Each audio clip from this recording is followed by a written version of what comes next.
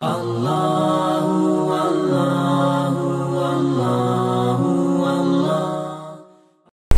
गदीर के अमाल में एक अहम तरीन अमल ईद गदीर का रोज़ा। वाजे सी बात है, जब रोजेदार को इफ्तार कराना इतना सवाब है तो कोई रोज़ा रखेगा तो उसे इफ्तार कराया जाएगा। लिहाजा ईद गदीर के अफजल तरीन अमाल में से जो अम्मा ताहरीन ने हमें बताया, वो ईद गदीर का रोज़ा है। मोमिन खुदारा इसे तर्क न करें, इसे अपने हाथों से ज़ाया न होने दें, इस अदीम इबादत को।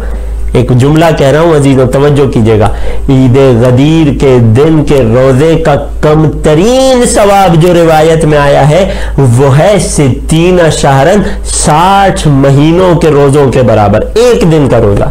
और ये वो सवाब है जो फकत हमारी कुतुब में नहीं आया, बरादरान की कुतुब में भी यही सवाब नकल हुआ। खतीब बगदादी ने अपनी किताब तारीख बगदाद में इस रिवायत को भी अबू हुरैरा से ही नकल किया कि जिसमें अबू हुरैरा कहता है कि जब अठारहवीं जिलहज का गदीर खुम का दिन हो तो उस दिन रोजा रखना साठ महीनों के रोजों के बराबर है। तो लिहाजा तमाम आलम इस्लाम से गुजारिश है।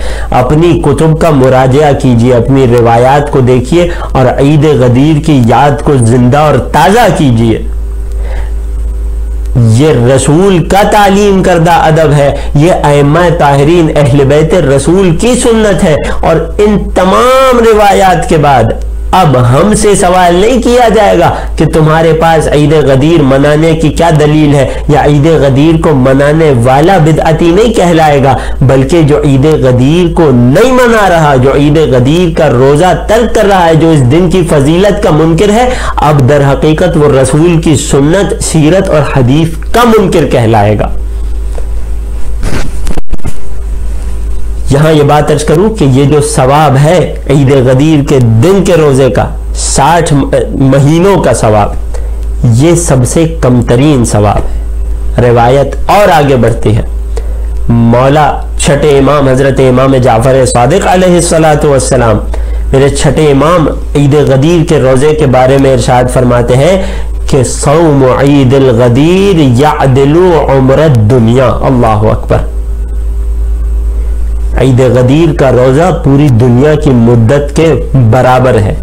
क्या मतलब? मौला ने खुद तफसीर फरमाई, अगर कोई शख्स खुदा उसे इतनी तवील हयात देता कि इस दुनिया के बनने से लेकर, तवज्जो कीजिएगा, नबी अल्लाह आदम के आने से लेकर नहीं, इस दुनिया के बनने से लेकर रोज़े कयामत तक खुदा उसे उम्र तवील अता करे और इस पूरी उम्र में रोज़े रखता रहे तो उसके बराबर सवाब उस शख्स को मिल जाता है जो गदीर के एक दिन रोजा रखता है। अल्लाह अकबर। फिर मौला फरमाते हैं ईद गदीर का रोजा सौ मकबूल हज और सौ मकबूल उम्रों के बराबर है। और क्यों ना हो कि इस दिन की फजीलत ही रिवायत में ऐसी है?